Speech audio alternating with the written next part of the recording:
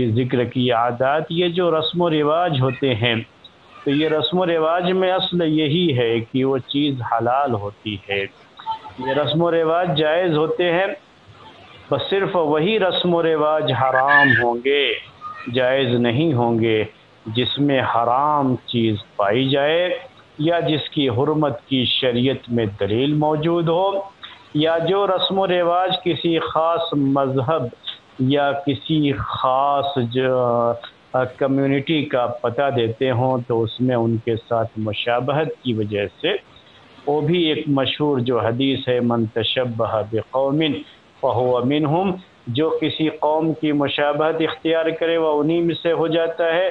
तो इन सब की रोशनी में उसकी हरमत का फ़ैसला किया जाता है।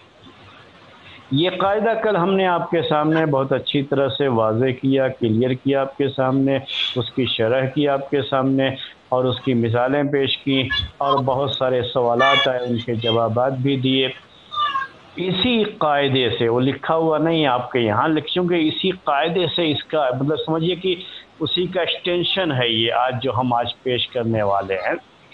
तो दो और चीज़ें हैं जो इसी कायदे से जुड़ी हुई हैं, वो आज आपके दर्स में पेश करेंगे। पहली चीज़ जो आज दर्स में पेश करेंगे वो ये है कि इसी तरह से ये भी जो है कायदा है, जबता है कि असलु फिल अशियाई अलबाहतो असलो फिल अकूदी अलबाहतो असलो फिल आयानी अलबाहतो तो ये एक जबता और कायदा आज हम आपके सामने पेश करने वाले हैं। ये अरबी में इबारत मैंने पेश की वो लिखी भी नहीं है। मैं आपको उर्दू में वो समझाता हूँ आपको। आपके सामने उर्दू में वो बात पेश करता हूँ कि ये भी एक कायदा और जबता जो इसी से ताल्लुक़ रखता है। यानी जो पहले हमने पेश किया, उसी से ये भी जुड़ा हुआ एक कायदा है कि जो मामलात होते हैं, हम इंसानों के दरमियान जो मामलात होते हैं, जो लेन देन के मसाइल होते हैं, जैसे ख़रीदना है, बेचना है, ये सब इसी तरह से ये जो है, इनको अकूद कहा जाता है अरबी में। अकूद का मतलब होता है कि अकद किया, हमने ख़रीदा, बेचा, निकाह किया, अकद निकाह कहते हैं उसको। तो ये सब मामलात में इनको अकूद कहते हैं अरबी जबान में। तो ये जो मामलात दुनिया में किए जाते हैं, एक कौम का दूसरी कौम के साथ, एक शख्स का दूसरी शख्स के साथ, जो है, एक ख़ानदान का दूसरे ख़ानदान के साथ, ये जो मामला किए जाते हैं, चाहे वो ख़रीदना बेचना हो, चाहे कोई चीज़ हेबा करना हो, गिफ्ट करना हो, हदिया करना हो, या ये कि कोई चीज़ किसी से ले लिया थोड़ी देर के लिए, जिसको हम मंगनी में लेना कहते हैं आरियतन ले लिया कि मेरा काम होने के बाद मैं आपको, आपका ये सामान वापस कर दूँगा। तो ये सब चीज़ें जो पाई जाती हैं, ये सब मामलात में इन चीज़ों को शुमार किया जाता है। अकद जितने भी हैं सब की सब मामलात में शुमार किए जाते हैं।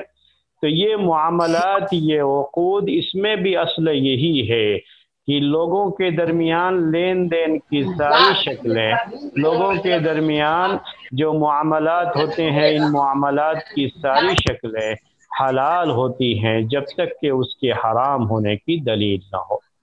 यानी वही मामला हराम माना जाएगा जो मामला शरीयत में हराम करार दिया गया है वही हराम माना जाएगा।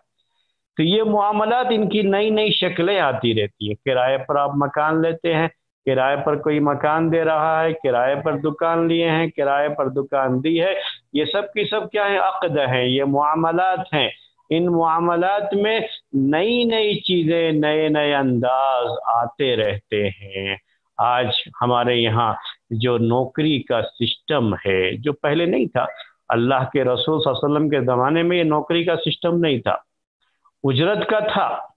उजरत जो ये भी उजरत की ही एक शक्ल है, लेकिन उस ज़माने में उजरत का क्या है कि कोई काम मुतन हो, उस काम को आप करेंगे, उसकी उजरत लेंगे।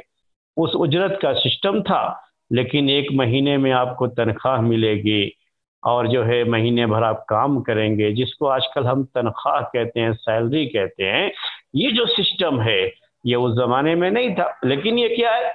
मामलात हैं, इन चीज़ों का ताल्लुक मामलात से है। तो ये सब जो भी इस तरह की चीज़ें पाई जा रही हैं, आज जो है, बड़ी कसरत से ये चीज़ पाई जा रही है कि आदमी किसी चीज़ का ठीका ले लेता है कि ठीक है, ये मकान मैं इतने जो है लाख में बनवा करके आपको, आपके हैंड ओवर कर दूँगा। तय हो जाता है। मकान जिसकी ज़मीन है उससे जिसका जो मकान बनवाना चाह रहा है, एक तो होता है कि मजदूर रख करके आप मजदूर को मजदूरी दें और मकान खुद अपनी निगरानी में बनाए और एक ये होता है कि आप ठीके पर दे दें। तो ठीके का जो है, आजकल जो इतनी कसरत से ये चीज़ पाई जा रही है। तो ये सब जो नई नई चीज़ें क़्यामत तक आई, आती जाएँगी। आज जो इंटरनेट पर खरीदने और बेचने के मसाइल हैं, पहले नहीं थे ये। क्योंकि इंटरनेट का सिस्टम नहीं था पहले तो खरीदने बेचने की जो शक्लें पहले थीं, आज उसमें से बहुत सी शक्लें मौजूद नहीं हैं और आज बहुत सी नई शक्लें आ गई हैं जो पहले मौजूद नहीं थी। तो ये सब चीज़ें हैं, ये सब जो है बातें हैं। इसी तरह से आपके सामने, यानी आज के इस कायदे में ये सब बातें आपके सामने आएँगी। कि आज निकाह के कुछ नए मसाइल भी सामने आते पहले जो है कुछ और शक्ल थी और आज कुछ नए नए मसाइल भी आ रहे हैं। जैसे अब जो है कोई वीडियो कॉलिंग, वीडियो कॉन्फ्रेंसिंग के ज़रिए से निकाह कर रहा है तो सही होगा या नहीं होगा? पहले क्या था कि जो है बैठ गए एक जगह पे, काजी साहब हैं या कहिए कि जो है निकाह कराने वाला और जो है जिसका निकाह हो रहा है वो है और एक जगह पे हैं, सब लोग इकट्ठा हैं। और मस्जिद से निकाह में निकाह होता था। अभी निकाह की ये कुछ शक्लें हो रही हैं तो क्या इन शक्लों में निकाह सही होगा, नहीं होगा? ये सवाल आते हैं। ये सब के सब क्या है? मामलात में इनको उकूद कहा जाता है अरबी जबान में। अकद का मतलब होता है कि दो आदमियों के दरमियान या दो फरीक के दरमियान, दो जमातों और दो ग्रुप के दरमियान कोई मामला तय पाता है तो ये अकद कहलाता है, चाहे वो खरीदने और बेचने का अकद हो, निकाह का अकद हो, चाहे जो है ये इजारा यानी किराए पर लेने या देने का अकद हो, जितने भी इस तरह के अकूद हो सकते हैं, सब की सब जो है ये मामलात अकूद कहलाते हैं। तो असल इसमें यह है कि हर अकद, हर मामला जायज़ है। उसके जायज़ होने की दलील नहीं पूछी जाएगी कि आप बताओ कि ये जायज़ है तो कहाँ कुरान में है, कहाँ हदीस में है? अल्लाह के रसूल वसल्लम के ज़माने में ये चीज़ थी, सहाबा के दौर में ये चीज़ थी, आप साबित करो। ये नहीं पूछा जाएगा इसमें, बल्कि सिर्फ़ ये पूछा जाएगा, अगर कोई कहता है कि खरीदने और बेचने की ये शक्ल जो पाई जा रही है, ये हराम है तो उससे ये पूछा जाएगा कि इसके हराम होने की दलील क्या है? हराम होने की दलील पूछी जाएगी, जायज़ होने की दलील नहीं पूछी जाएगी। ये मसला होता है। इसको कहते हैं अल असलु फिल अल इबाहतो कि असल क्या है मामलात में? कि मामलात की ये शक्लें जायज़ होती हैं, जदीद तिजारती शक्लें जायज़ होंगी, अगर उसमें हराम का कोई मसला ना हो, या वो शक्ल शरीयत में जो शक्लें उस ज़माने में हराम करार दी गई थी, उनसे इसका ताल्लुक ना हो या उसके वो मुशाबे ना हो, उसके कुछ असूल हैं, वो मैं आपके सामने पेश करूँगा। तो उस वक्त ही वो हराम होगी, वरना जदीद शक्लें क़्यामत तक जो भी आती रहेंगी, तिजारत की, मामलात की, ये जायज़ शक्लें मानी जाएँगी। अगर उनके हराम होने की दलील ना हो। यही बात चीज़ों के बारे में है। असल क्या है चीज़ों के बारे में कि ये चीज़ें हलाल हैं। दुनिया में जो चीज़ें भी पाई जाती हैं, ये चीज़ें असल यही है कि ये हलाल हैं। और अगर कोई चीज़ हराम है तो हराम होने की दलील पेश करना होगा, हलाल होने की दलील नहीं पेश करना। यानी अगर कोई कहता है कि ये चीज़ हराम है तो उसको दलील देना पड़ेगा, क्यों हराम है? कहाँ कुरान में आया है, कहाँ हदीस में आया है? या कौन सा कुरान और हदीस का ऐसा असल, ऐसा जो है, ऐसा जो है, मामला, ऐसी नस है, जिससे आप कयास करते हुए ये कह रहे हैं कि ये हराम है? हराम होने की दलील पेश करनी पड़ेगी, हलाल होने की दलील नहीं पेश करनी है। तो अगर हम ये कहते हैं कि ये चीज़ हलाल है, अभी हमारे सामने पंखा है, हमारे सामने एसी है, ये चीज़ें हैं। अब ये चीज़ हलाल है, हराम है, अब कोई कहे कुरान में ला करके हमको दिखाओ कि पंखा ये हलाल है, हदीस में ला करके दिखाओ कि ये हलाल है एसी का इस्तेमाल करना हलाल है, हमें दिखाओ। तो ये सवाल क्या होगा? बेतुका सवाल कहलाएगा। ये ऐसा सवाल जहालत पर मबनी सवाल कहलाएगा, नादानी का सवाल कहलाएगा, और ये कहा जाएगा कि आप कुछ नहीं जानते तो खामोशी रही, खामोश रहिए। इसमें जो है जायज़ होने की दलील नहीं पूछी जाती, बल्कि आपसे ये कहा जाएगा कि एसी अगर आप कहते हो हराम है तो उसके हराम होने की दलील पेश करो। कुर्सी है, मेज है, इसका सोफा सेट है कोई जितनी भी ये आराम के, अभी जो है हमारे पास ये फ्रिज है वॉशिंग मशीन है नई नई चीज़ें ये जो है मोबाइल खुद अपने आप में, ये जो नई नई चीज़ें ईजाद होती जा रही हैं, आती जा रही हैं, कोई पूछे आपसे कि हलाल होने की दलील दो तो ये उसका सवाल गलत होगा। ये हलाल है, आप दलील पेश करो, ये सवाल गलत है। अगर कोई कहे कि हराम है, तब आप कहोगे कि आप हराम होने की दलील पेश करो। क्यों ये चीज़ हराम है? हराम होने की दलील पेश करो। हलाल होने की दलील नहीं पेश करनी पड़ती है, क्योंकि असल यही है कि जो चीज़ें अल्लाह ताला ने पैदा की हैं हमारे लिए, वो चीज़ें हमारे लिए हलाल हैं। जब तक कि उसके हराम होने की किताब सुन्नत में या इजमाय उम्मत में या क्यास के ज़रिए से या उसूल के ज़रिए से उसकी हरमत साबित न हो, उसका हराम होना साबित ना हो, तब तक वो चीज़ हराम नहीं होती। जानवरों का यही मसला है। जो पौधे ज़मीन से उगते हैं, वही मामला है। जो फ्रूट और फल हम जो है, सब्ज़ियाँ और फ्रूट और फल हमारे पास आते हैं, खाने पीने की ये चीज़ें होती हैं, इन सब का यही मामला है मेरे भाइयों और बहनों कि ये चीज़ें जो पैदा की गई हैं, असल यही है कि ये सारी चीज़ें हमारे लिए हलाल हैं, जब तक कि उनके हराम होने की कोई दलील ना आए। यानी जिन चीज़ों को अल्लाह ताला ने हराम करार दिया है, वही हराम होगी, और जिनको हराम करार नहीं दिया है, कहीं कुरान या हदीस में उसके हराम होने का बयान नहीं है। तो ये चीज़ हमारे लिए हलाल होगी और हमको हलाल होने के लिए कोई दलील नहीं पेश करना।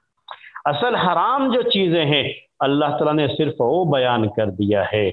और हलाल चीज़ें कितनी हैं कौन कौन हैं, पूरी उसकी डिटेल नहीं दी है। और यही तो किताब सुन्नत की ख़ास बात है। इसी के ज़रिए से तो क़्यामत तक आने वाले मसाइल को किताब सुन्नत में बयान कर दिया गया है। इसी तरह के उसूल बयान कर दिए गए हैं, जिसकी रोशनी में हम जो है क़्यामत तक आने वाले मसाइल के बारे में फतवा भी दे सकते हैं, मसाइल का हुक्म बयान कर सकते हैं। नसूस वही हैं, वही कुरान है, वही हदीस है।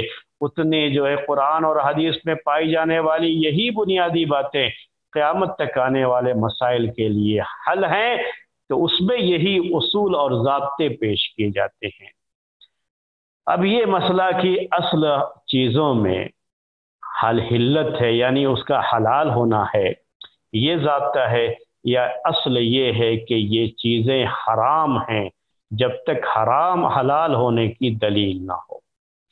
तो ये जो कायदा है जबता, इसमें थोड़ा इख्तलाफ है। और उस इख्तलाफ को पहले मैं आपके सामने पेश कर दूँगा।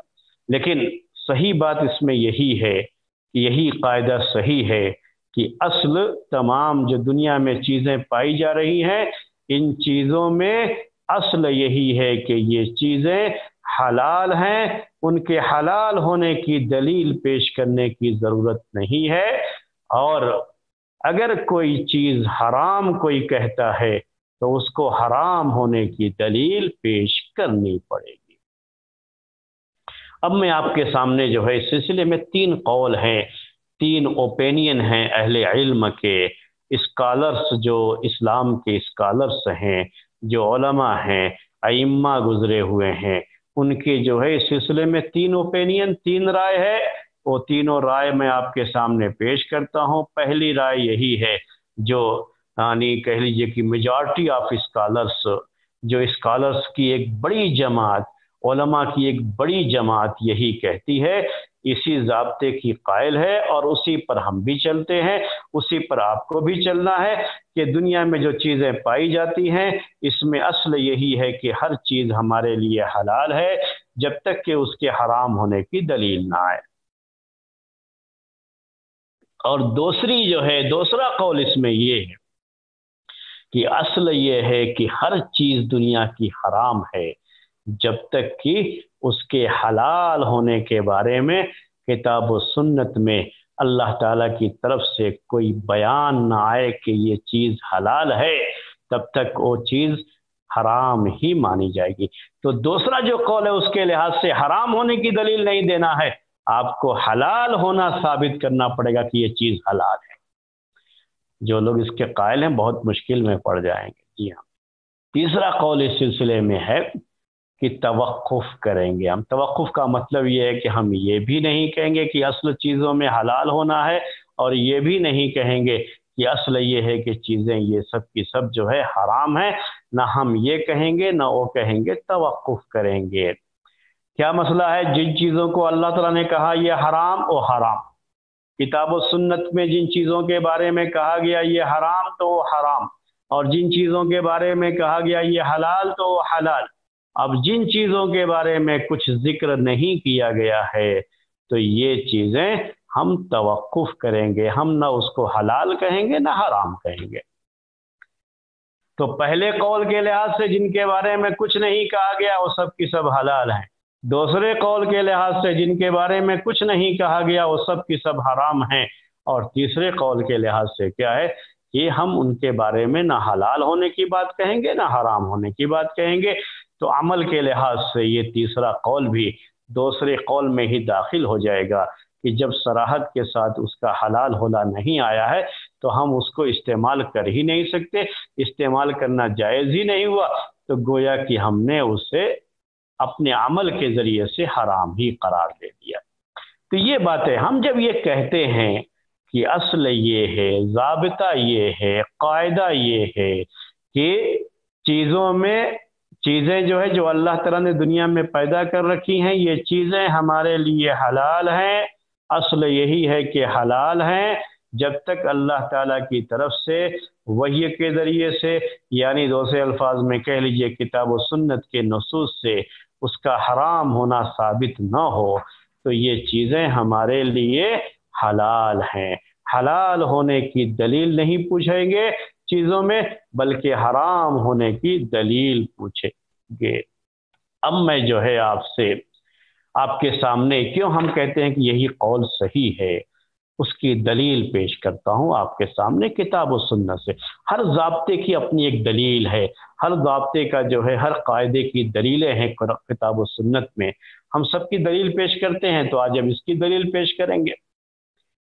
अल्लाह तबारक व ताली ने कुरान में कहा, हुवल्लज़ी खलक़लकुम मा फिल अर्द जमीआ। हुवल्लज़ी खलक़लकुम मा फिल अर्द जमीआ। कुरान में है ये, कि वही है जिसने तुम्हारे लिए ज़मीन की तमाम चीज़ों को पैदा किया है। अल्लाह ताला ने इस कायनात को किसके लिए पैदा किया है? हमारे लिए पैदा किया है। अब हमारे लिए पैदा किया है और हमारे लिए उसका इस्तेमाल ही जायज़ ना हो तो फिर हमारे लिए पैदा करने का मकसद क्या हो फ़ायदा क्या हुआ? यही आयत दलील है उसकी। कि दुनिया में जो चीज़ें हैं, अल्लाह ताला ने हमारे लिए पैदा किया यानी गोया कि उससे जो फ़ायदा है, वो फ़ायदा हमको हासिल करना है।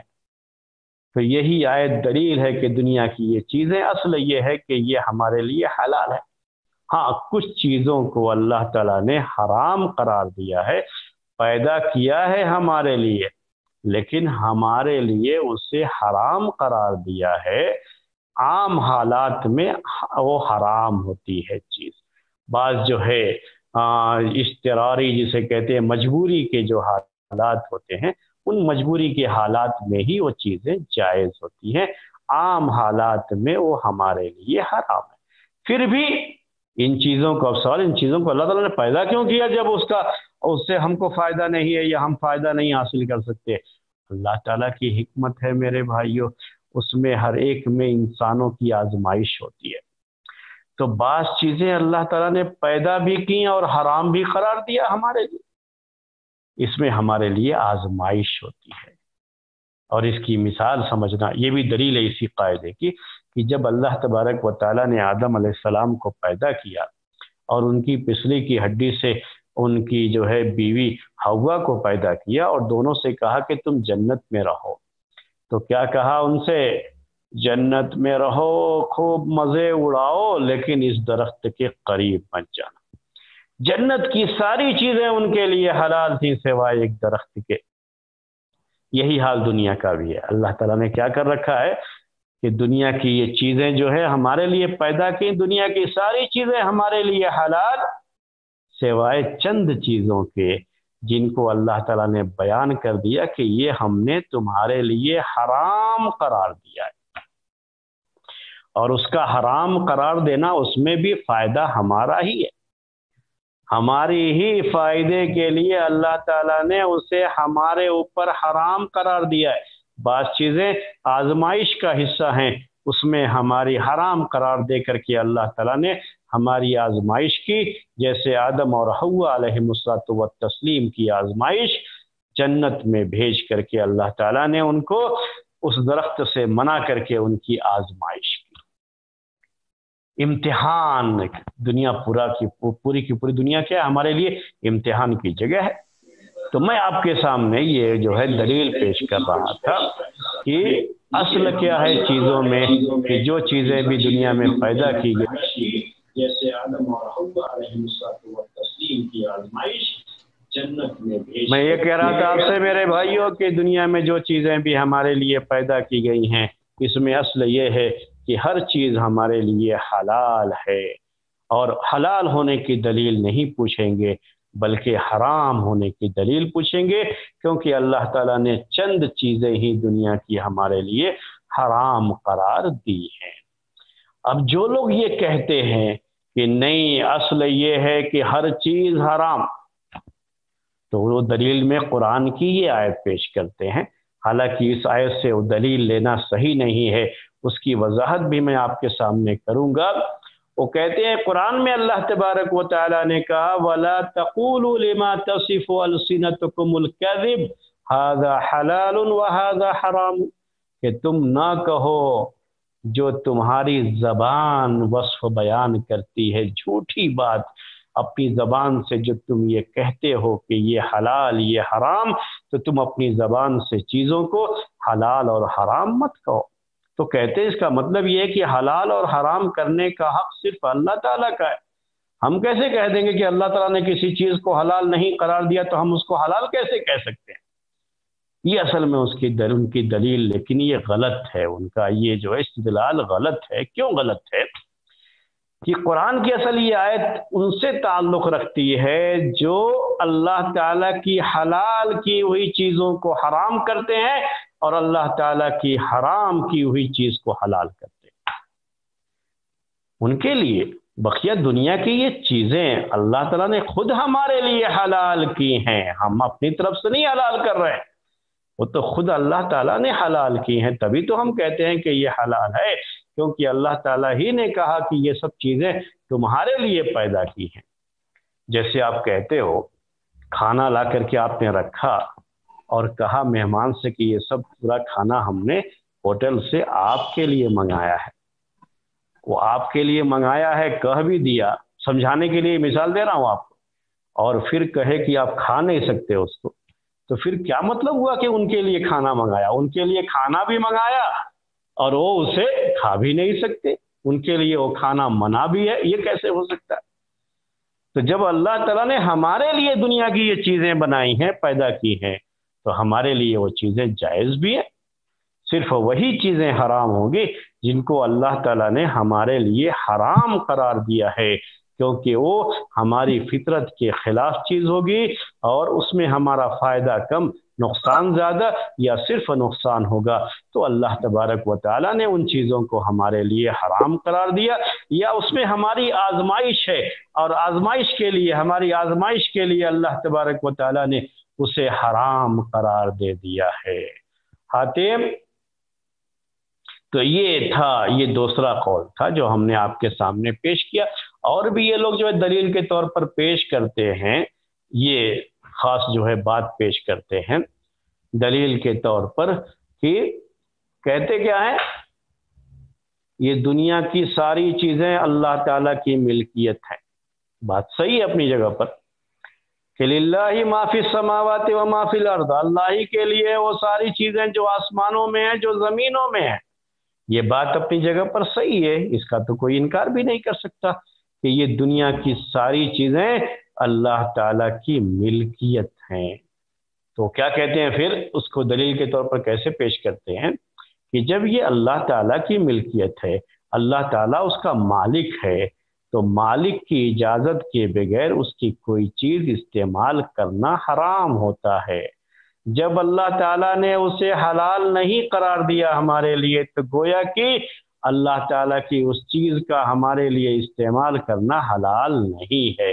इसलिए हलाल होने के लिए दलील की ज़रूरत है, जब तक क्योंकि ये तो अल्लाह ताला की मिल्कियत है। बात बड़ी अच्छी है, लेकिन ये दुनिया के लिहाज से है। अल्लाह ताला ने जो पैदा किया है, हमारे लिए उसके लिहाज से नहीं, दुनिया के लिहाज से, यानी इंसानों के लिहाज से, अगर इंसानों, किसी इंसान की मिल्कियत में कोई चीज़ है कोई शख्स किसी चीज़ का मालिक है तो उसकी इजाज़त के बगैर उसका इस्तेमाल करना जायज़ नहीं होता है। वो हराम होता है। ये है, सही बात है, लेकिन ये किसके लिए? इंसान।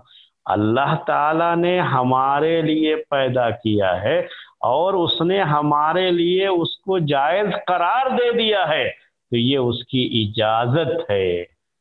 यानी इसका कह देना कि हमने तुम्हारे लिए पैदा किया है, दुनिया की ये चीज़ें, कायनात की ये चीज़ें तो ये खुद उसकी तरफ़ से इजाज़त हो गई कि वो हमें कह रहा है कि हम तुमसे तुमको इजाज़त देते हैं कि तुम इन चीज़ों को इस्तेमाल करो, इससे फ़ायदा उठाओ।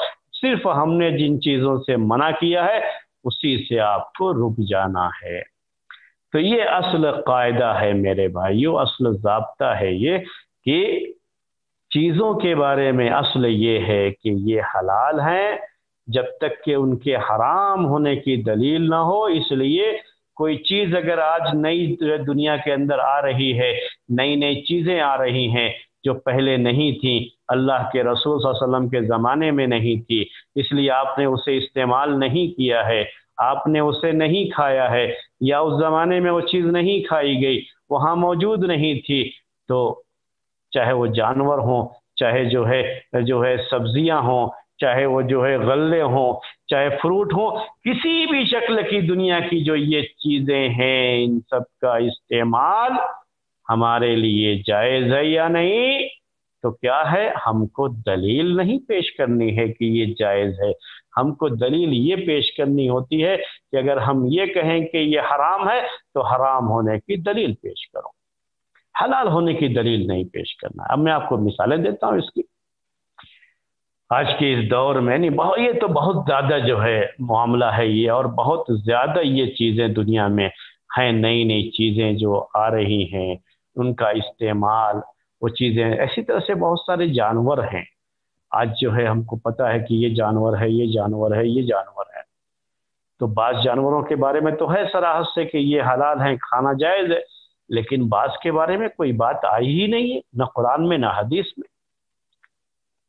कहीं उसके और जो कुरान या हदीस में कुछ उसूल बयान किए गए हैं बाज़ जानवरों के हराम होने के लिए ख़ास सिफतें ज़िक्र की गई हैं तो उस उसूल के तहत भी वो नहीं आते।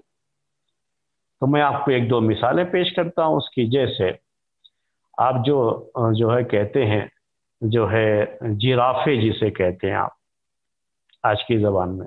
जिराफे का खाना जायज़ है या जायज़ नहीं है? कुरान और हदीस में कहीं इसका बयान नहीं आया है। उसके जायज़ होने का या हराम होने का? तो हम क्या कहेंगे, जो आज का जबता है, यही दलील है उसके लिए कि चूँकि कुरान में उसके हराम होने की कोई जो है बात नहीं कही गई, अहादीस में हराम होने की बात नहीं कही गई है, और जो असूल हराम होने के बयान किए गए, उन असूल में भी ये जो है जानवर नहीं आता है तो ये हलाल है। क्या कहेंगे? हलाल है। हलाल होने के लिए दलील नहीं चाहिए। कोई कहे कि हराम है तो बताइए, क्यों हराम है? कहीं कुरान में कोई आयत है? हदीस में कहीं ये हुक्म है? या जो हदीस में उसूल हैं कि जो है इस तरह के जानवर हराम होते, क्या उसके तहत ये चीज़ आती है? आपको दलील पेश करना पड़ेगा। तो उस उसूल के तहत ये जिराफे क्या है? हलाल है। हाथी, दूसरा मसला क्या है? हाथी का।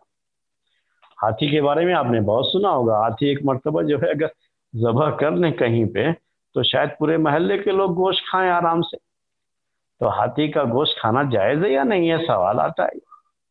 क्या कहेंगे आप? जायज़ है कि नहीं है? कुरान में कहीं इसका हराम होने का बयान नहीं, हदीस में कहीं हराम होने का बयान नहीं, जो असूल है हदीस में, उससे भी कहीं इसके हराम होने का पता नहीं चलता है। तो फिर ये चीज़ हराम नहीं है। हराम नहीं है, क्या है? हलाल है हमारे लिए। अगर ऐसा है कि किसी उसूल के तहत अगर वो चीज़ आती है, हराम होने की बात, ये कुछ वसूल है, यानी सराहत के साथ वही लफ्ज़ तो नहीं आया है, लेकिन कुछ वसूल है उसके तहत वो चीज़ आती है, तब भी उसको हराम करार दिया जाता है। तो ये हाथी जो है उसमें से किसी में भी नहीं आती। इसी तरह से ये जो पौधे उगते हैं, चाय की पत्ती जो आज आप इस्तेमाल करते हैं, जो काफ़ी इस्तेमाल करते हैं, ये चाय के बगान तो बहुत हो गए आपके पास। तो चाय की पत्ती आप कहाँ कुरान में, हदीस में कहीं है कि चाय की पत्ती आप इस्तेमाल कर सकते हो? चाय बना करके पी सकते हो? उसके जायज़ होने की बात कहाँ आई है कहीं नहीं आई। हाँ क्यों जायज़ है? जायज़ है वो क्यों जायज़ है? इसलिए कि उसका, उसको हराम नहीं करार दिया गया है। ये ज़मीन से उगने वाला जो पौधा है, ये चाय की जो पत्तियाँ हैं, ये क्या है? हमारे लिए चूँकि ज़मीन से उगती हैं, अल्लाह ताला ने पैदा किया है, हमारे लिए पैदा किया है, हमारे लिए जायज़ है, और ये हमारे लिए चीज़ हराम नहीं करार दी गई है, इसलिए हमारे लिए ये चीज़ जायज़ है। तो बस यही काफ़ी होता है कहना। इसी तरह से तिजारत की आज बहुत सी शक्लें हैं। तो तिजारत की कुछ शक्लें हैं जिनको अल्लाह के रसूल वसल्लम ने हराम करार दिया।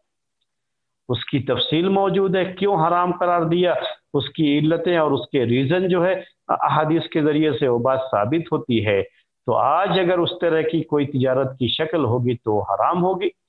लेकिन उसके अलावा नई नई शक्लें बहुत सारी आ गई। और हराम होने की उसमें कोई दलील मौजूद नहीं है। हराम होने का कोई मसला नहीं है। तो ये नई नई शक्लें सब की सब क्या होंगी हमारे लिए? हलाल होंगी। उसके हराम होने की आप दलील पूछिए। कोई कहता है कि तिजारत की आज की ये शक्ल हराम है तो पूछिए कि इसके हराम होने की दलील क्या है। हलाल होने की दलील नहीं देनी है। जितने भी ये मामलात हैं, सबका यही सबका बारे में यही बात है कि इसके हलाल होने की दलील नहीं देना होता है। निकाह का मसला भी इसी से ताल्लुक रखता है कि जो है, इसीलिए हमने कल भी आपके सामने ज़िक्र किया था कि इसमें जो है, जो ये मामलात होते हैं, इसमें असल यही है कि ये हलाल होती हैं चीज़ें, जब तक कि कोई चीज़ उसके हराम होने की शरीयत में कोई दलील मौजूद ना हो। अगर कोई दलील मौजूद है जब तक कि शरीयत पे दलील मौजूद हो कि जो है ये हराम है, तब तक जो है हम उसको जो है हराम नहीं कह सकते। जब हराम जो है होने की दलील होगी तभी हराम कहेंगे। निकाह के मसाइल हों, चाहे जो है खरीदने और बेचने के मसाइल हों, इन सब का यही मामला है। इन सब के बारे में यही बात है। इसको आप जो है जहन में रखिए और ये चीज़ें हैं जो आपको जहन में रखनी होती हैं। ये कायदे के तहत चीज़ें आती हैं। इसी से जुड़ा हुआ, असल में इसी से एक कायदा है जो मुस्तना है। निकाह के भी मसाइल इसमें आ गए ना आपके सामने। तो जो है, ये जो मामलात हैं तो इससे जुड़ा हुआ एक और जो है कायदा है। इसी से जुड़ा हुआ, इसीलिए मैंने उसको लिखा नहीं कि इसी में मुझे आपके सामने वो कायदा भी शरह करते हुए एक्सप्लेन करते हुए पेश करना था। वो कायदा क्या है? अरबी में कहते हैं उसको कि अल असल फिल अबाई तहरीम कि शर्मगाह के बारे में प्राइवेट पार्ट अबदा जो है, अरबी में कहते हैं जो फरजुल मराती औरत की जो शर्मगाह है प्राइवेट पार्ट है, उसको अरबी ज़बान में ये लफ्ज़ इस्तेमाल करते हैं उसके लिए।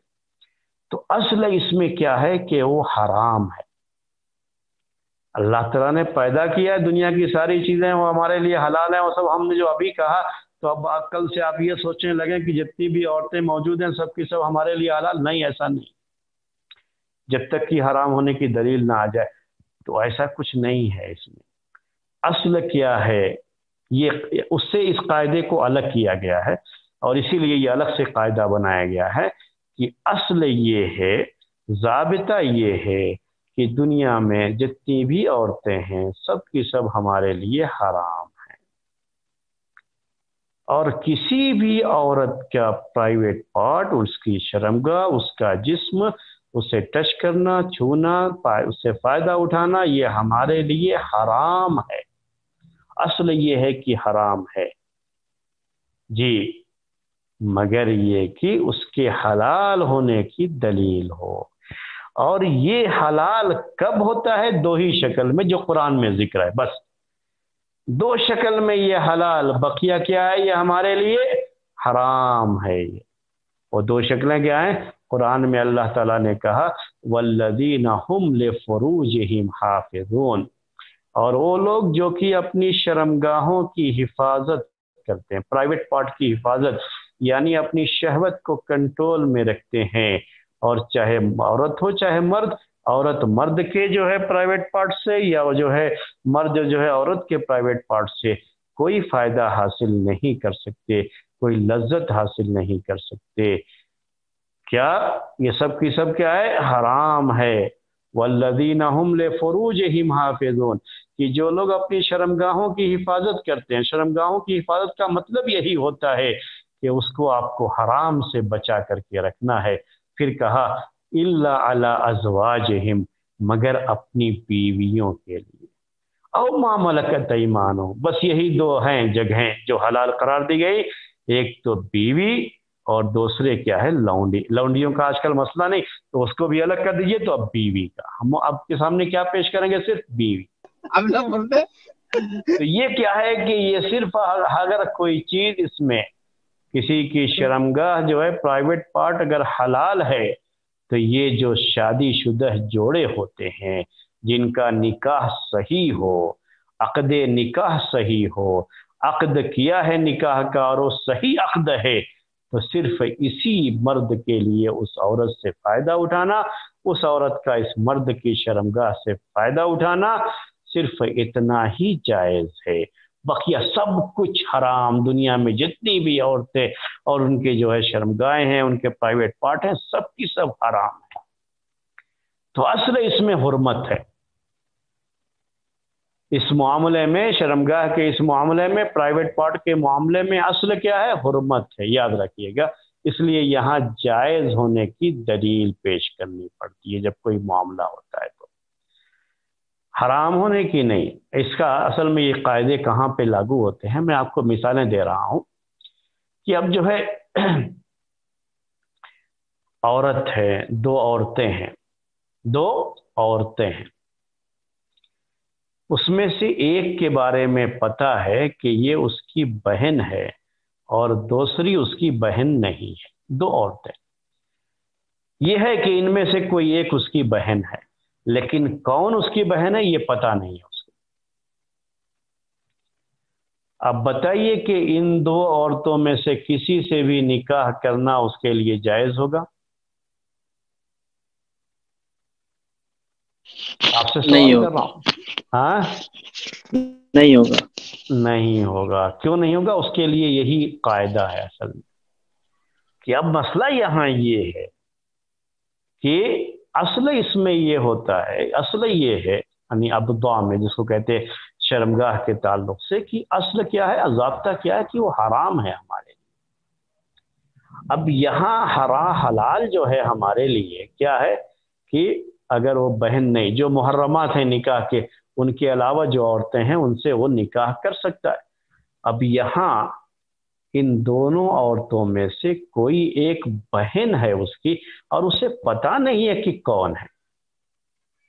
इसीलिए अब जो यकीन है कि इनमें से कोई एक उसकी बहन है, ये यकीन उसी वक्त खत्म होगा जब दूसरा यकीन आ जाए कि ये उसकी बहन है और ये उसकी बहन नहीं है। अभी उसके पास ये यकीन नहीं है कि जो है कौन उसकी बहन है, कौन उसकी बहन नहीं तो यहाँ सिर्फ़ जो शुभ आ गया है, शक आ गया है, यही काफ़ी है। इस जो है कायदे पर अमल करते हुए कि शर्मगाह में असल यही है कि ये हराम होती है। उसमें से किसी भी लड़की से वो निकाह नहीं कर सकता, जायज़ नहीं है उसके लिए निकाह करना। दूसरी मैं मिसाल पेश करता हूँ आपको। दो औरतें एक ही शक्ल की हैं। जैसे जुड़वा मर्द होते हैं ना, जुड़वा औरतें भी होती है। तो जुड़वा एक ही तरह की दो औरतें। उसका एक से निकाह हुआ है, उसकी बीवी है, और उसी शक्ल की एक दूसरी औरत आ गई। उसको पहले से पता नहीं था तो आई इसकी बीवी भी वहाँ पर है और दूसरी औरत भी है। अब ये पता नहीं हो रहा है कि इसमें उसकी बीवी कौन सी है। दोनों में से हर एक कह रहे कि मैं तुम्हारी बीवी। और वैसे जुड़वा जो होते हैं तो कभी कभी शक्ल इतनी मिल जाती है कि फ़र्क करना नहीं हो पाता है कि फ़र्क कर सकें कि दोनों में से कौन जो है बीवी है, कौन नहीं। अगर उसमें से कोई एक ही कहती है कि मैं बीवी हूँ आपकी और दूसरी कहती है, नहीं, मेरा, मेरे से नहीं, मैं बस इनकी बहन हूँ और जो है मुझसे आपका निकाह नहीं हुआ। तब तो कोई मसला नहीं। मसला कब आता है कि जब दोनों ये दावा कर दें कि मैं ही बीवी हूँ तो अब उसके लिए दोनों में से किसी के साथ भी हम बिस्तरी करना जायज़ नहीं है।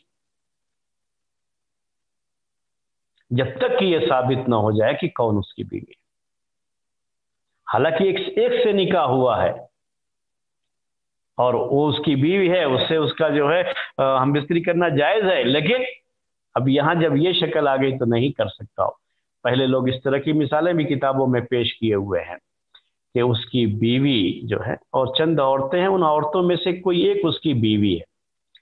तो पहले लोग शादी के मौके पर औरतों को देखते भी शादी के मौके पर हमारे मतलब मुल्क में ये रहा है पहले कि वो घर के लोग तो देख लेते थे, लेकिन शौहर को नहीं दिखा रही उस लड़के को जिसका निकाह होने वाला है उससे, जो मंगेतर है, उसको नहीं दिखाते थे। वो तो जो है, सुहाग रात में ही देखेगा, उससे पहले नहीं देख सकता। तो ये चीज़ें रही हैं तो उसको ध्यान में रखेंगे तो ये मिसाल आपको समझ में आएगी। अब जो है, आदमी कहीं गया है, जिसका निकाह हुआ था, अभी जो है, बीवी उसके पास आई नहीं। निकाह सिर्फ़ हो गया था तो निकाह ऐसे हो जाता था नाम से। अब जो है, वो एक जगह पे चार पाँच लड़कियाँ हैं, उनमें से कोई एक उसकी बीवी है, लेकिन उसको ये पता नहीं कि कौन मेरी बीवी है। निकाह किसके साथ मेरा हुआ है, ये उसको पता नहीं है। किसी के साथ भी उसमें से वो हम मिस्त्री नहीं कर सकता। क्योंकि असल यही जबता, ये कायदा वहाँ पर आता है कि ये सब चीज़ चूँकि इसका जो है शर्मगाह से ताल्लुक है, और ये जो कायदा और जबता बनाया गया, वो इस लिहाज से भी बनाया गया है कि जो शरीयत के मकासद हैं, उनमें से एक मकसद ये भी है कि नस्ल की हिफाजत। अब वो जिससे उसका निकाह ही नहीं हुआ, अगर कहीं उसके साथ उसने जो है ये समझ कर कि ये मेरी बीवी है, उसने ऐसा कर लिया उसके साथ, हम बिस्तरी कर लिए, रात गुजार लिए, और उससे बच्चा पैदा हो गया तो क्या होगा फिर? मसला हो जाएगा, परेशानी हो जाएगी। तो ये सब चीज़ें हैं, ये सब जो है नस्ल के जो है मसाइल होते हैं। औरत है, दो आदमी हैं अब उसमें से कोई एक उसका शौहर है, ये तो पता है उसको। लेकिन कौन है? वो मुतन नहीं है कि ये शौहर है या ये शौहर है। तो उनमें से किसी को भी वो अपने पास नहीं आने देंगे। और किसी के लिए भी उससे जो है, हम बिस्तरी करना जायज़ नहीं होगा। क्योंकि अगर गैर मर्द उसके साथ हम बिस्तरी कर लेता है तो उससे जिससे उसका निकाह हुआ है उसकी जो है बच्चे, उसका, उसकी नस्ल, और अगर यहाँ कहीं बच्चा ठहर गया, यानी हमल ठहर गया तो जो है वो नस्ल का मसला भी आता है। इसीलिए इसमें असल क्या है कि कहा गया है कि अल असल तहरीम कि शर्मगाह के प्राइवेट पार्ट के मामले में, शहवत के इस मामले में असल यही है कि हर चीज़ हराम है, जब तक के उसके हलाल होने की दलील ना हो। तो जब तक हलाल होने की दलील ना हो वो चीज़ हराम है, इसलिए यहाँ हलाल होने की दलील पूछी जाती है। हराम होने की दलील नहीं पूछी जाती है। तो शर्मगाह का मामला बहुत ही ये खास कर दिया गया है कि ये सिर्फ़ और सिर्फ़ सही निकाह के ज़रिए से जो बीवी बन करके आती है, उसी के साथ जो है ये चीज़ जायज़, बकिया किसी के साथ भी ये चीज़ जायज़ नहीं। तो इसमें भी अगर कहीं शुभ आ जाता है उसके बीवी होने या ना होने का तो वहाँ पर असल पर अमल करते हुए उसके साथ भी हम बिस्तरी करना जायज़ नहीं रह जाता है। ये चंद बातें थी मेरे भाइयों और बहनों आज के इस कायदे में मैंने आपके सामने ज़िक्र की।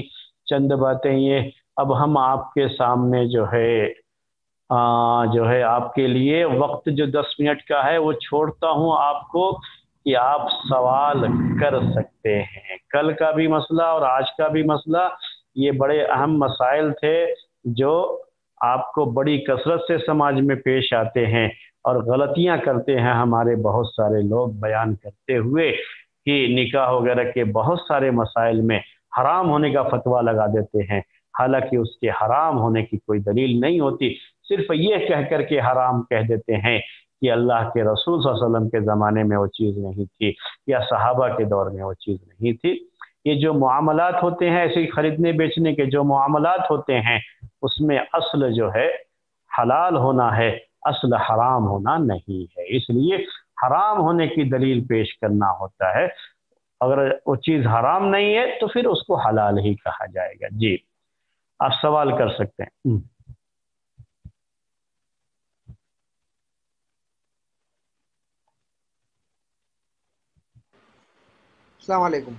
वालेकुम अस्सलाम शेख ये एक प्रॉपर्टी का मसला है। जी हाँ। शेख मैं कुछ सालों से बाहर था हम्म। और मैंने वहाँ से पैसे भेजकर मेरे भाइयों ने यहाँ पे मेरे लिए फ्लैट लिया। जी हाँ। और, उन्होंने और उन्होंने अपने लिए भी फ्लैट लिया। जी हाँ।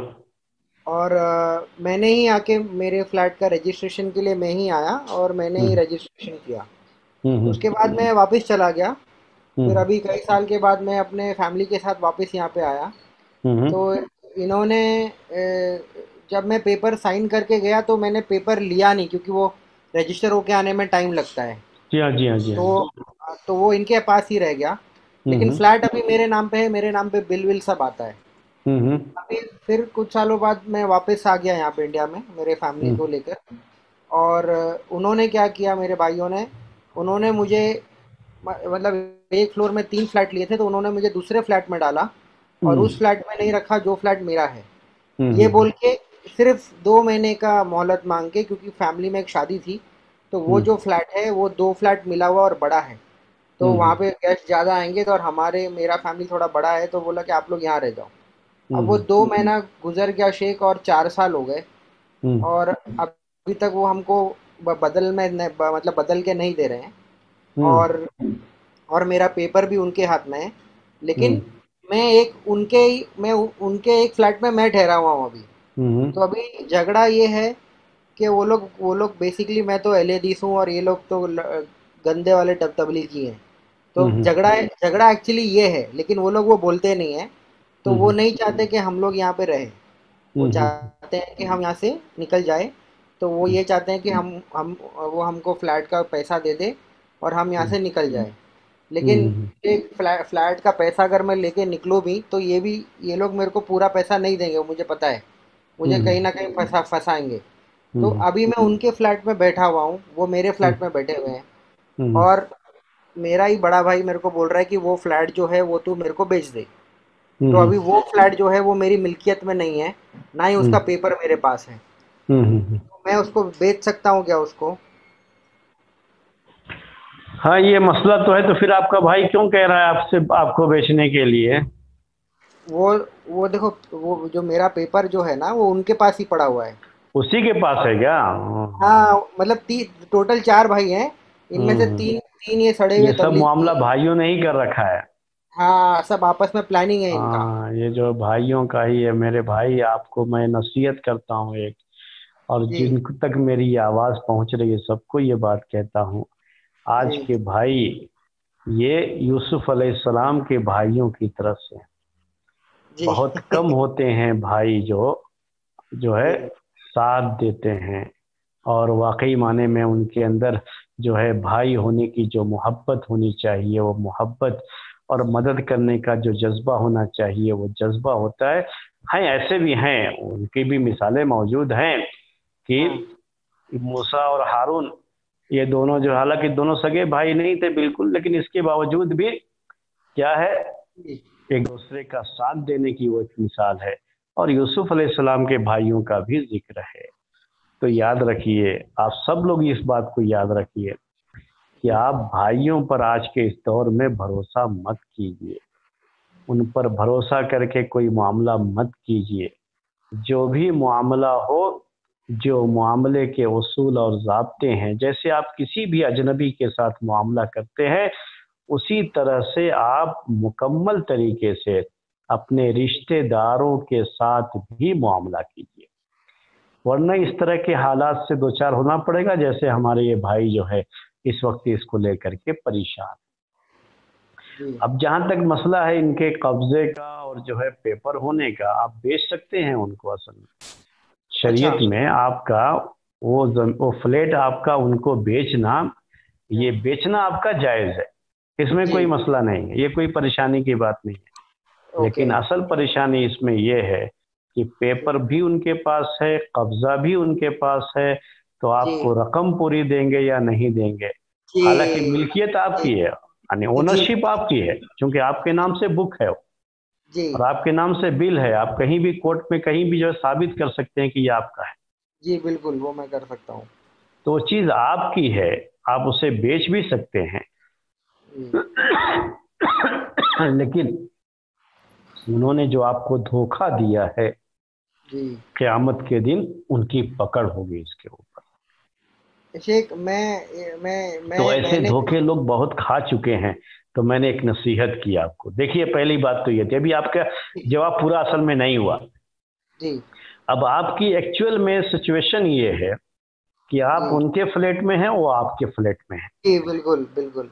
जी हाँ तो अभी जो है एक तरह से कह लीजिए कि उनको ये चाहिए कि वो फ्लैट जो आपका है वो खाली करके अपना फ्लैट ले लें और वो अपना आपका जो फ्लैट है वो आपके हैंड ओवर कर दें।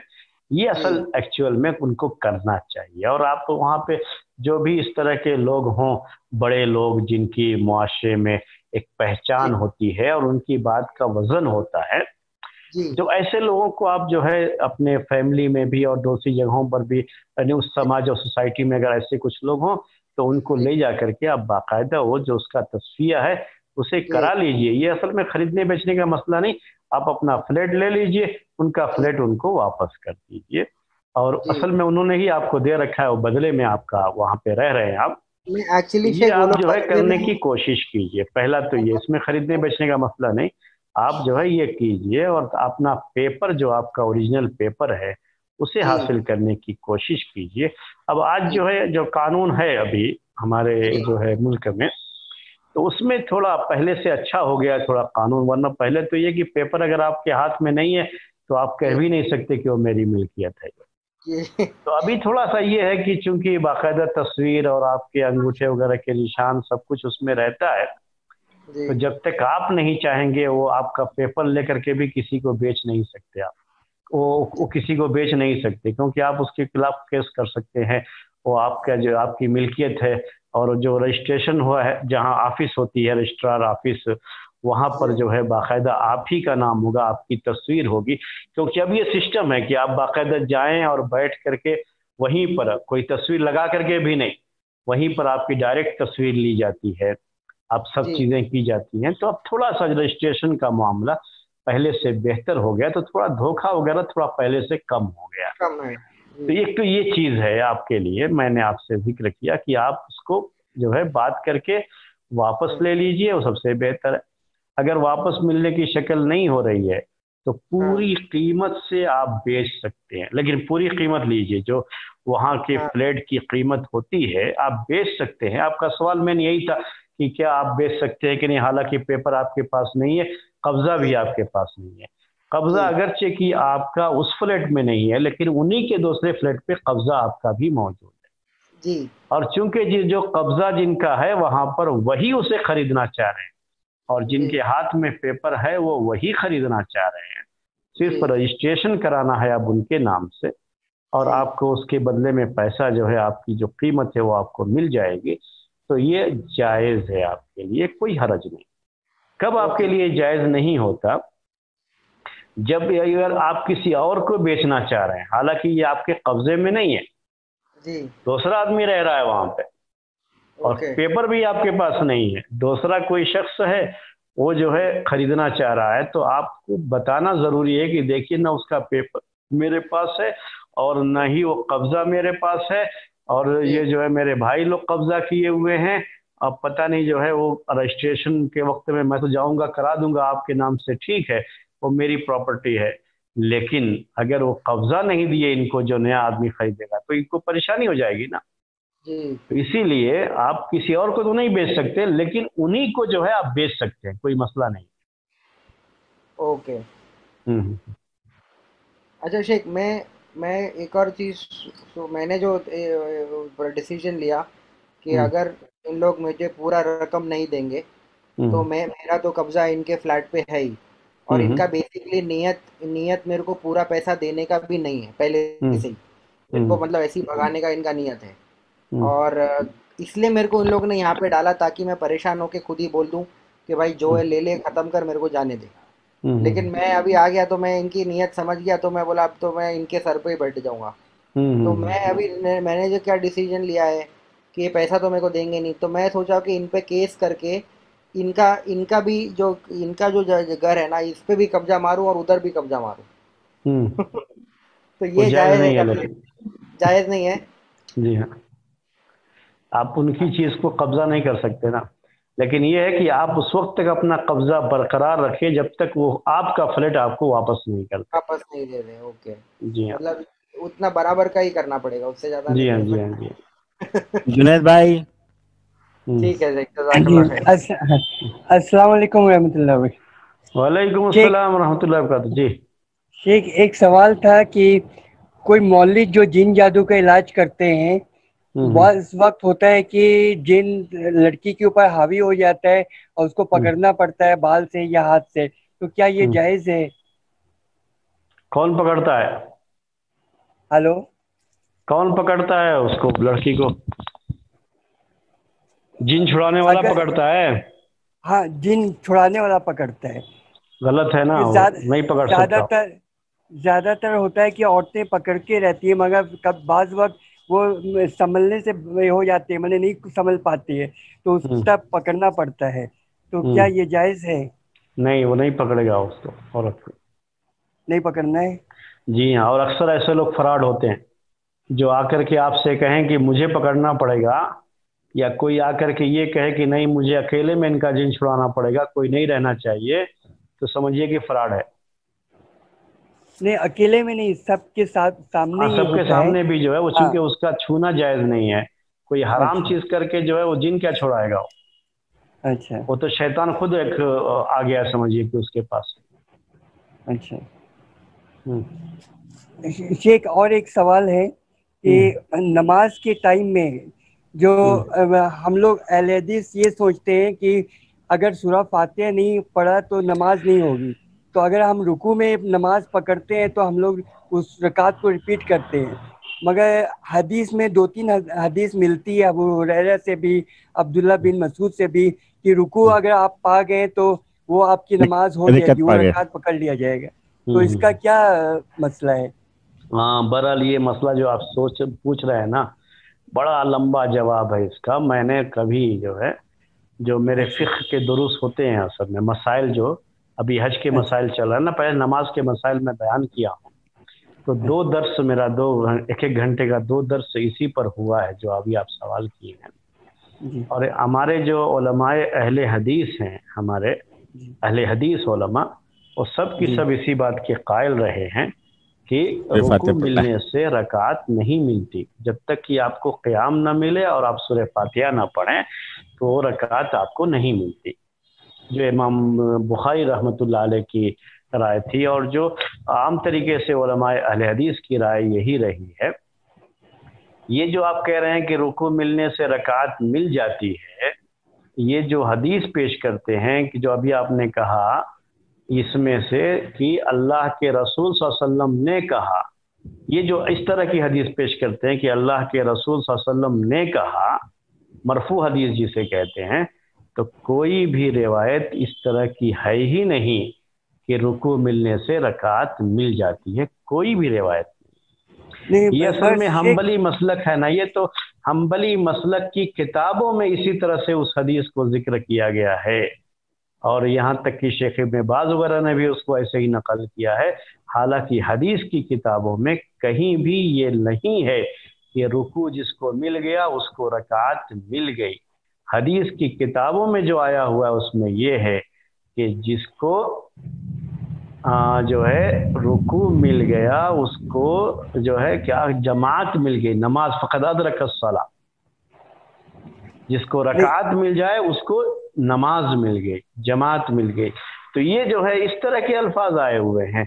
ये रुकू और रकात का लफ्ज नहीं है ये। तो ये तो उनकी किताबों में मैं खुद उसकी वजह से बहुत धोखे में था बहुत दिनों तक जो है कि ये तो बहुत वाज दलील है ना कि रुकू मिल गया तो रकात मिल गई। हालाँकि इस तरह का लफ्ज है ही नहीं कहीं हदीस में इस तरह के साथ। और बकिया जो आप कहना चाह रहे हैं कि अब्दुल्ला इब्ने मसूद का ये अमल शायद आप ये कहना चाह रहे हो। हाँ? ये कहना चाह रहे हैं। अब्दुल अब्दुल्ला बिन मसूद और ये जैद बिन वकास जब नमाज़ पढ़ने गए वो लोग रुकू में हाजिर हुए। तो हाँ। जैद जैद जो थे वो वो नमाज़ दोहराना चाहे तो अब्दुल्ला बिन मसूद ने उनका हाथ पकड़ के खींच लिया। हाँ ये जो है ना इसका मतलब क्या हुआ कि अब्दुल्ला इब्न मसूद की ये राय जो मशहूर सहाबी हैं हाँ, अब्दुल्ला इब्ने मसूद तो उनसे ये बात साबित है। वो इस बात के कायल थे कि अगर रुकू मिल गया तो रकात मिल गई। वो इस बात के कायल थे। बात समझ में आ गई आपको? लेकिन तो अल्लाह के रसूल ने ये बात कही है। ये साबित नहीं है। मैं असल ये आपको वाजे करना चाहता हूँ। पहले इसको नोट कर लीजिएगा। जी। अब्दुल्ला इब्ने मसूद की बात वो साबित है। हम्म। जैसे रफ़ैदैन न करना जो अहनाफ रफ़ैदैन नहीं करते जो है रुकू के वक्त में और जो है रुकू से उठने के वक्त में तो अब्दुल्ला इब्न मसूद से यही साबित है कि वो नहीं करते थे तो इसलिए वो नहीं करते हैं अहनाफ भी। तो यहाँ पर भी तो ये मसला है ना कि अब्दुल्ला इब्न मसूद जो है रफ़ैदैन भी तो नहीं करते थे। करते थे वो रफ़ैदैन? बोलिए। करते थे भाई। अब्दुल्ला इब्न मसूद? करते थे।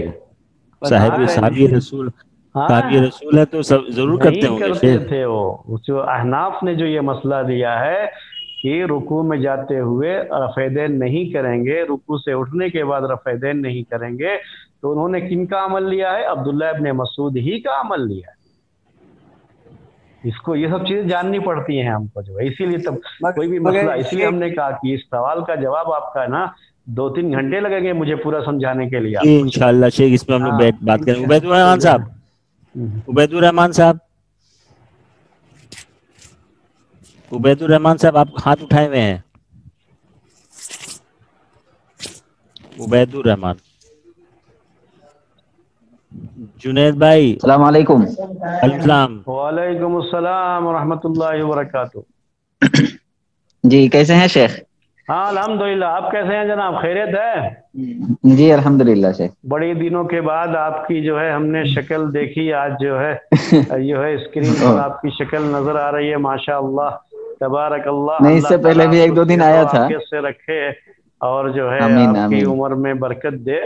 आपके यहाँ शायद जो है उसमें जो है जामिया आलिया कलकत्ता में कुछ प्रोग्राम वगैरह थे शायद आजकल मैं कुछ जी जी जी जी। तो शायद उसमें बिज़ी रहे होंगे हाँ जी अभी बस लास्ट में हूँ उसमें अभी भी काम हम्म। चल रहा है कुछ हम्म, तो शेख हम्म। आज के कायदे के हिसाब से एक मसला जानना था वो जैसे बर्थडे वगैरह है हाँ। या टीचर्स डे मनाया जाता है बर्थडे वगैरह का जितने भी इस तरह के हैं हमने कल बता दिया था ये कि जितने भी डे कहलाते हैं ना बर्थडे हो पेरेंट्स डे हो या जो है जो है और भी बहुत सारे डे वैलेंटाइन डे हो जितने भी इस तरह के डे मनाए जाते हैं इन शरीयत में इसकी कोई गुंजाइश नहीं है। जितने भी डे मनाए जाएँ इसकी कोई गुंजाइश नहीं है। क्यों नहीं है? इससे एक तो ये कि उसमें जो है वैलेंटाइन डे वगैरह तो जो है वो तो फहाशी और बेहयाई की चीज़ है। वैसे भी वो हराम है। ये पेरेंट्स डे वगैरह जो मनाते हैं कि तो इसमें क्या खराबी है कोई कहे? असल में इसमें कोई खराबी नहीं है। टीचर्स डे मना रहे हैं कोई खराबी नहीं है। लेकिन जो। जो हमारा जो ये बन गया इसमें कि जो रिवाज बन गया है जो लोगों का अंदाज बन गया वो ये कि साल भर जो है इनकी साथ बदतमीजियाँ करते रहो और इनको जो सताते रहो सिर्फ़ एक दिन जो है उनका दिन मना लो। ये हमारा जो है इस्लाम क्या सिखाता है हमको?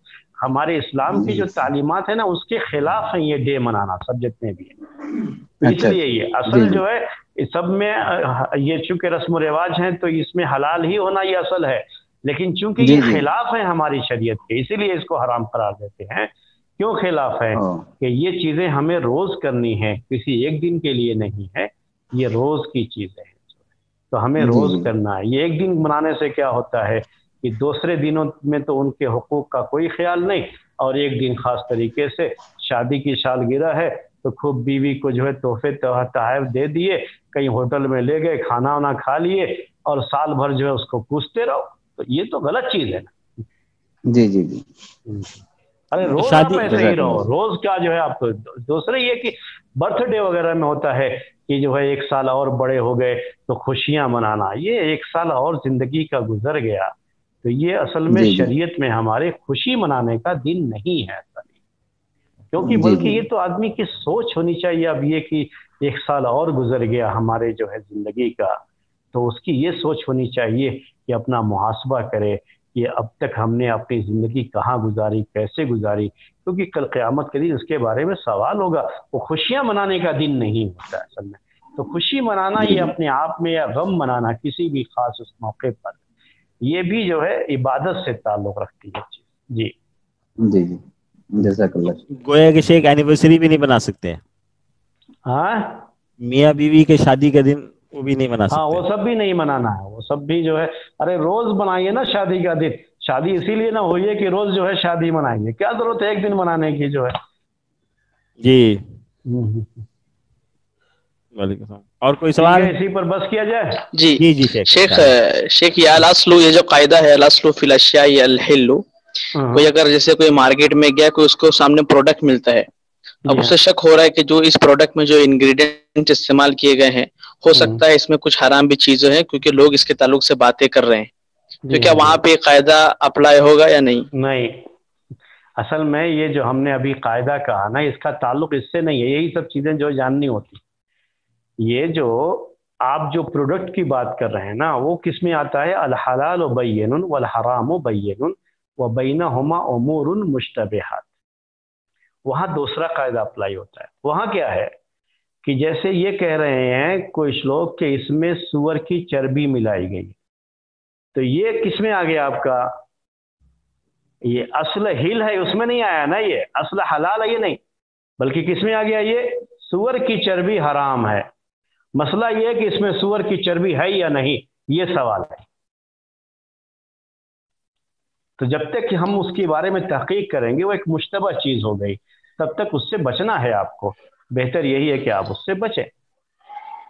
क्योंकि तो मुशतबा तो हो गई जो है जब ये चीज़ है और उसके जो भी चीज़ें उसमें दाखिल की गई हैं उसके वो लिखे हुए चीज़ें होती हैं और उसमें चूँकि नंबर लिखते हैं नाम नहीं लिखते तो लोग कहते हैं इससे शुभ को और तकवीत मिलती है। तो ये एक अलग वो एक अलग है। हम जो कह रहे हैं ना चीज़ तो जैसे कोई पौधा है कोई फल है कोई जान, जानवर है जो चीज़ें अल्लाह ताला ने पैदा कर रखी हैं हमारे लिए तो ये चीज़ें दुनिया की चीज़ें ये सब क्या है? इसमें असल यही है कि ये चीज़ें हलाल होती हैं जब तक कि हराम होने की कोई दलील ना आ जाए।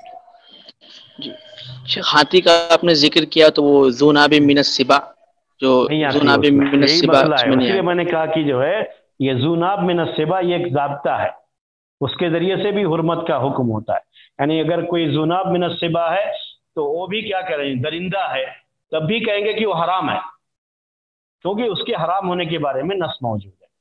लेकिन हाथी उसमें नहीं है ऐसा। हाथी के अंदर कहाँ वो चीज़ पाई जाती है कि वो जो है किसी को ऐसे चीड़ फाड़ करके खा जाए? वो चीज़ नहीं पाई जाती है हाथी में।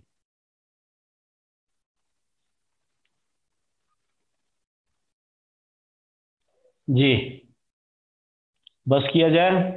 शेख हरसन वाला ताउद हदीस का क्या जवाब दिया जाता है? हाँ ये अलग है अबू बकरा की हदीस जो है। मैंने कहा ना बहुत लंबी बात है वो। आप अगर देखना चाहें तो इंटरनेट पर मेरा वो दर्स होगा वो देख सकते हैं। हमारे जो हदीस ने लिखा है बाकायदा जो है इस सिलसिले में किताबों में लिखी हुई बातें भी हैं। अगर आप पढ़ना जो है चाहें तो बाकायदा ये सब जो है हदीसों के जवाब भी हैं सब चीज़ें भी हैं बहुत तफसील से इसके बारे में मेरा दर्श भी है कि उस हदीस का मतलब क्या है और उसका मतलब क्या बयान किया गया। तो वो तो बिल्कुल जो है जो है क्या कहते हैं उसमें भी सराहत के साथ ऐसी कोई बात तो नहीं है कि जो है अल्लाह के रसूल वसल्लम ने कहा हो कि तुम्हें दोबारा पढ़ने की ज़रूरत नहीं क्योंकि उस हदीस के कई माने बयान किए गए। किसी हाँ। सहाबी का ये मज़हब था हम्म। कि उसको रकात नहीं मिलेगी? जी हाँ। अबू है रदी अल्लाह तु अबू रदी अल्लाह तु इस बात के कायल थे कि अगर क़याम नहीं मिला है तो रकात शुमार नहीं की जाएगी।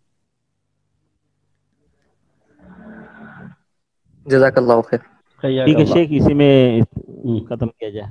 जी ठीक है। अस्सलाम वालेकुम सुबहानक अल्लाहुम्मा व बिहम्दिका अशहदु अल्ला इलाहा इल्ला अंत। अस्तगफिरुका व अतूबु इलैक।